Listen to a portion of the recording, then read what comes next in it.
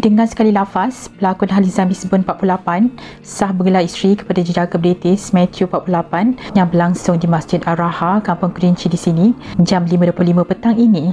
Memilih duda anak satu yang juga perunding teknologi maklumat di sebuah syarikat antarabangsa sekaligus melenyapkan teka-teki status sebenarnya. Upacara akad nikah Haliza dan suami berlangsung dengan mematuhi SOP dengan hanya dihadiri 50 tetamu saja.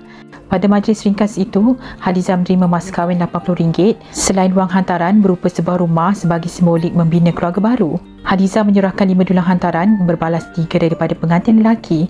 Pasangan itu dinikahkan penolong pendaftar nikah cerai Masjid Ar-Raha, Kampung Kerinci, Ustaz Muhammad Lazim Khairuddin. Ini adalah perkahwinan pertama saya. Alhamdulillah, semuanya berjalan dengan lancar. Selama ini saya tahu ada yang sangsi dan berteka-teki tentang status saya. Ada juga yang menyangka saya sudah berkahwin. Namun saya bersyukur apa yang dinantikan sekian lama sudah dimakbulkan.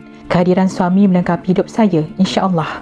Suami sudah menetap di Malaysia sejak 9 tahun lalu. Kami berkenalan menerusi kawan, bertemu di sebuah restoran di Damansara Haik ketika saya bersama rakan menjadi detik awal perkenalan. Saya akui, suamilah lelaki pertama yang saya berani membawanya bertemu keluarga selepas setahun menjalin hubungan cinta.